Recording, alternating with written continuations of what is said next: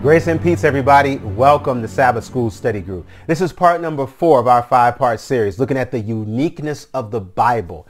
It's such a special book because of a special God. But that God is so special because we are special to him. It's amazing, I know. But he chooses to use a book to communicate all this to us. So that's why today we want to talk about the transforming power of this word, of this book. But before we do that, we want to pray. And Father, we pray that you would please transform us by the time we spend in your word. In Jesus' name, amen. The Bible is a transforming book. Uh, whether you believe it or not, its power is power. So when we go and, and, and look at it now, not just as this prophetic book or as this historical text, it is a transforming force for those who open it in faith. And so when we see that, we realize, okay, you can't change the Bible. But guess what? The Bible will change you. People can choose to do whatever they want. They can choose to ignore the fact and even close the book. But just because I close the book and ignore the fact, it doesn't change the fact.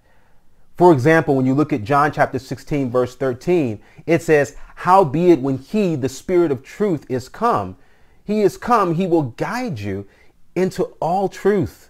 And he shall not speak of himself, but whatsoever he shall hear, that shall he speak. And he will show you things to come. What I want us to catch in the verse is how when it says, whatsoever he shall hear, that shall he speak. The Bible does not say, this verse does not say that the word will say to you what you want to hear. it says, whatsoever is said is what will be said. Think of it in this way. Um, how you can close the book, ignore it, and, and just piece it out. In that way, changing it. You can ignore the fact that on your street where you live, the speed limit is 35 miles per hour. You could have never have seen the book, never have opened the law book, never have gone down to the courthouse and looked at the, the city ordinance. But it doesn't change the fact that if you're driving down the 35 mile per hour road at 85 miles per hour and the policeman pulls you over and they say, sir, why were you going 50 miles per hour over the speed limit? You cannot use it as a legal defense. I didn't know. I never saw the book. I never opened to read it myself. In that instance, you don't change the law. That law is about to change you and your wallet. in the same way, the Bible is a book that speaks to us not just what we want to hear. Yes, because there are things in the scripture that I want to hear. I want to know that I'm loved. I want to know that I'm saved. I want to know that I'm forgiven. But it will also tell me the things that I need to hear. Needing to know that trouble don't last always, and neither will I if I stay in trouble.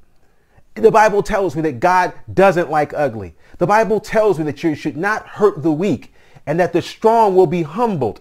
These are things that I may not want to know, but I need to know them. And the Bible says it to us. And in fact, in effect, that changes us. And I don't change it. Another verse to remember is Hebrews 4 verse 12 where we're told that the word of God is quick and powerful and sharper than any two-edged sword, piercing even to the dividing asunder of soul and spirit and of the joints and marrow and is a discerner. That word is powerful. It's the discerner. It's a discerner of the thoughts and intents of the heart. So when it says the word of God is quick, it's not speaking to its speed. It's speaking to its vita, its vitality, its life, its zoe. It is something that affects us and it impacts our life uh, one of the laws of motion that if something is moving and it hits something else, all of the energy that was in the movement of that other object now is released into the other object and it continues in a domino type of effect. The Bible has an impact on us that moves us to impact others even when you reject it. Because your movement to dodge it, your movement to fight it is going to impact other people in your rejection and or in your reception. When you receive the word of God, when you believe the word of God, it impacts and transforms others around you as it transforms you. It's quick. A double-edged sword, it says there in Hebrews 4, changing us and others. One way you could look at that particular part of that verse. Because when you go to John 17, verse 17, this impact nature, this transformative nature of the book, not a book, but the book, when you read it, when you believe it, and when you live it, Jesus says you'll be sanctified. That's why he said, sanctify them in his prayer for us to his Father. Sanctify Chris through my truth.